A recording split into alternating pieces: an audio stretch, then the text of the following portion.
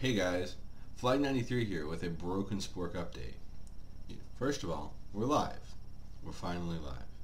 So coming at you, you've got Skullgirls, Swords and Soldiers, and a little bit longer series where Pwned Oscar and I play Infamous Tides of Blood. Next up, we have a new member, Mega Overkill. And speaking of Mega, he and I will be doing a Halloween live stream. Now, unfortunately, due to some scheduling conflicts, it's not actually going to be on Halloween, but it's still going to be that weekend.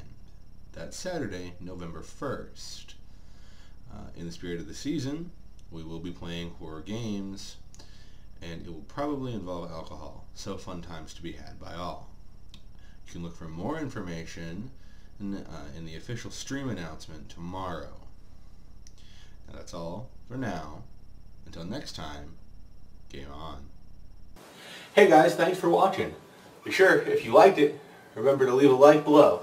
If you've got any questions, comments, concerns, hmm, leave us a comment. We do read them all, and we'll get back to you in as timely manner as possible.